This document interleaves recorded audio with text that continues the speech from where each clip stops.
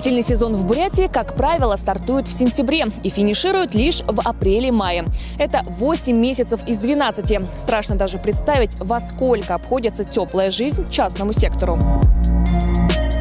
В Улан-Удэ более 60 тысяч частных домов. С каждым годом их число только растет. Дома, как правило, с печками или котлами. В качестве топлива им нужны дрова, уголь или электричество. Что из них дешевле, экономичнее и удобнее в применении? У молодоженов Натальи и Евгения дом 100 квадратов. Его отапливает одна печь, плюс в хозяйстве есть и баня. Сейчас мы топим один раз, скоро начнется совсем холода, мы будем два раза топить. А это в любом случае еще и баня. Здесь мы покупаем дрова, здесь получается две машины дров, 6 кубов по 15 тысяч. Три года назад 10 тысяч было, в прошлом году сколько? 12, наверное, сейчас мы вот купили за 14.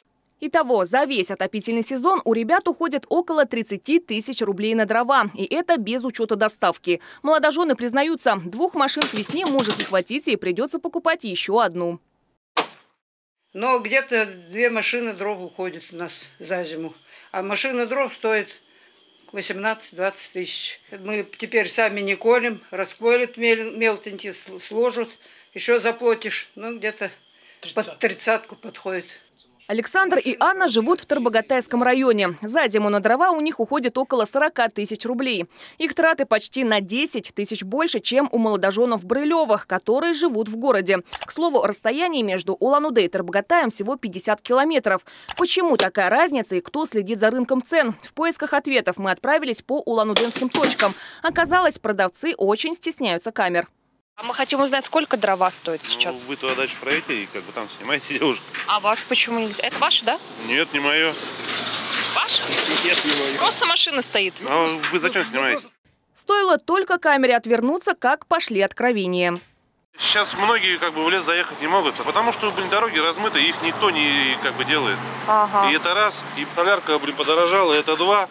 Соляра дорогая, угу. вы знаете сколько? Вот на тысячу рублей 14 литров топлива, дистоплива. А 150 километров туда. Это только до деревни, однако, 150. Камень, если поймал, то она за один раз кончишь ее. При всем при этом объявление о продаже дров на том же самом Авито более тысячи. Цены от 4 тысяч и выше. Меня заинтересовали самые дорогие за 29 тысяч рублей.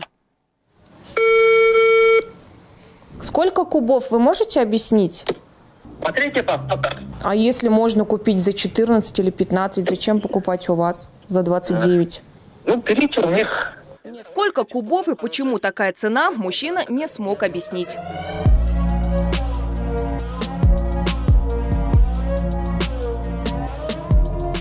Всего вот этого мне хватит, ну, до Нового года. Здесь примерно 5 тонн угля. Цена? Вот такая, допустим, да, фракция, она, допустим, уже 5300 стоит, насколько я не ошибаюсь. А вот такая фракция, как вот эта, ну, то есть песок, такая вот мелкая, она идет 4300. Этот мелкий уголь обошелся Александру почти 8 тысяч рублей, крупный в 16, без доставки. Ну, то есть вот неважно, сколько ты, хоть тонну закажи угля, 2000 заплати. Ну, конечно, выгоднее большую машину сразу заказать привезти. Площадь дома 250 квадратов вместе с цокольным этажом. На отопление гнездышка у Александра в этом сезоне уйдет около 27 тысяч рублей. Если на улице минус 35 и выше, там и 30 градусов, то расход у меня полный бункер, это 6 ведер, заходит туда ровно 24 часа. То бишь я вечером приезжаю с работы, открываю, засыпаю, залу вытаскиваю. И так каждый вечер. А сейчас, ну, в данное время где-то, ну, Два ведра два дня спокойно хватает. Добавим, что котел у Александра полностью автоматический. Не нужно каждые несколько часов следить за количеством угля. Но у такого вида отопления есть свои грязные минусы. Когда он топится, все вокруг, то есть в ограде он все пачкает. То есть копоть это вся летит не в окружающую среду, а она вся летит ко мне в ограду. Тот на угле, этот на угле, тут все на угле. Тут как бы зимой-то у нас тоже дышать вообще нечем, особенно вот когда мороз дает, она же все вниз, и вообще прямо тут дым стоит так столбом. В прошлом году я весь январь просидел на электроотоплении, да, 16 тысяч рублей в месяц. Но углем дешевле получается так. Угу, Несмотря так... даже на всю эту залу, пыль и так далее, я лучше буду углем топить.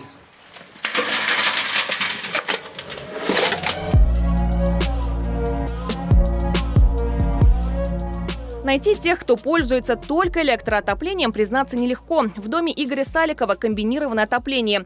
Теплой осенью греет электричество, а остальное время – уголь. Электричество у меня на 7 тысяч где-то может накрутить. Это и то днем отключается потому что плюсовая температура, а ночью только работает. Если я буду, конечно, зимой топиться, самый холод, у меня, наверное, 20 тысяч выйдет. Сейчас в Бурятии стоимость 1 киловатта 3 рубля 46 копеек, в то время как у наших соседей из Иркутска 1 рубль 42 копейки. У них еще действует пониженный коэффициент. Э, тот, кто топится электрокотлами, да, частный сектор, вроде как бы 0,9 пишут, а может и 0,7.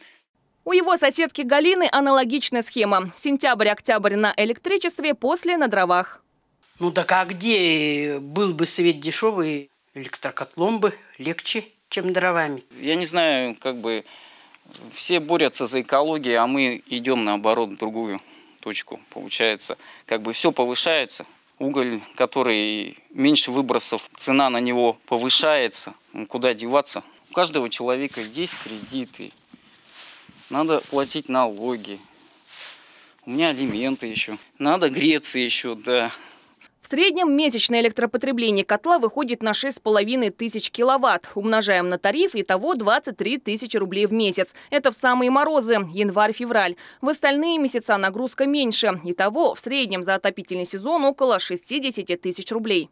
Давайте подытожим. Если греться дровами, то за зиму уйдет 30-40 тысяч рублей. На уголь 30-35. На электричество около 60 тысяч рублей.